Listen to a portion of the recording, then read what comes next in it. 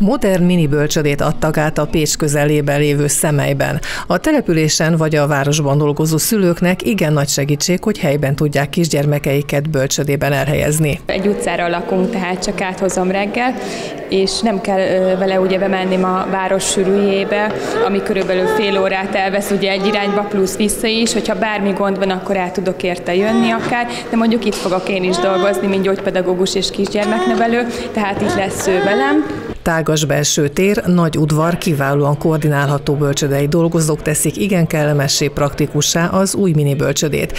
Itt minden a kisgyermekek érdekét, zavartalan fejlődését szolgálja. 20 hónapostól három éves korig szeretnének gyerekeket fogadni. Egy ö, csoportunk lesz, hét kisgyermeket tudunk befogadni, elsősorban személyi lakosságnak a gyermekei. Ö, a személyi lakossággal, ha nem tudjuk a hét kisgyermeket föltölteni, akkor bizonyos százalékig különböző környékbeli falukból vagy Pécsről is fogadunk gyerekeket. Egy csoporttal rendelkezünk, nagyon szép az épületünk, fürdőhelység, játéktárolóhelység, tálalókonyhánk, irodáink vannak, és egy gyönyörű nagy udvarunk, ami a gyerekeknek a játékát szolgálja hozott étel lesz, tehát tálalókonyhánk lesz.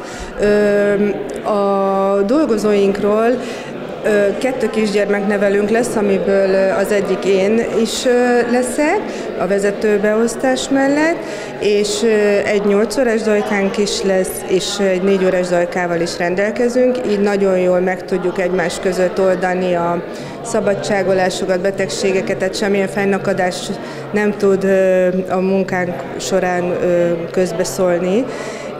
Nincs óvodánk, ugye ez az első intézmény a faluban, tehát nem tudtuk volna máshogy a dolgozókat csoportosítani, és ezt tartott a polgármesterünk a legjobb megoldásnak. A településen zömében horvát származású lakosok élnek. Horvát szemszögből nézve is nagy öröm számukra egy ilyen bölcsöde létrejötte. Tervezik horvát bölcsödei dolgozók alkalmazását is, főleg a kisgyermekek anyanyelv használata elsajátítása miatt, mondta Sárosác Mihály, a Szemei Horvát Önkormányzat elnöke. Reméljük azt, hogy amikor szeptemberben ténylegesen megindul a munka itt a bölcsödében, hogy lesz olyan személyzetünk is, aki beszéli a horvát nyelvet, és netán a horvátul is fognak tanulni egy keveset a gyerekek, és ez egy előlege annak, hogy később majd a horvát oktatási rendszerbe is be tudjanak lépni ezek a gyerekek. A horvát iskolába, gimnáziumban, nehogy Isten a horvát tanszékre, Pécset. Szerencsések vagyunk olyan szempontból, hogy az iskola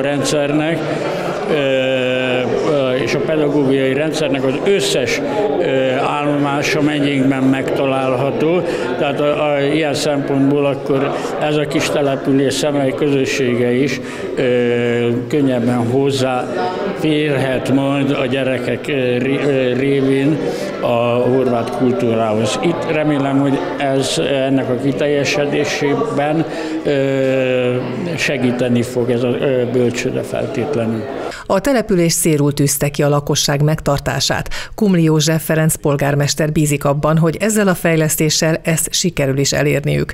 A falu egyben fiatalodik is, hiszen sok fiatal pár költözik ide. Európa Uniós és kormányzati támogatással valósulhatott meg, a településnek nem kellett ehhez pénzt hozzátennie, 100%-ban uniós és kormányzati forrásból valósult meg itt az első kapavágástól, a telekvásárlástól kezdve a teljes berendezésig megvan a finanszírozásunk, és hamarosan úgy látjuk most, hogy meg is fogjuk tudni nyitni a működési engedélyek beszerzése van folyamatban, tehát hamarosan meg is fogjuk tudni nyitni a bölcsödénket. Úgy tervezzük, hogy szeptember hónapban el tudunk indulni, igen.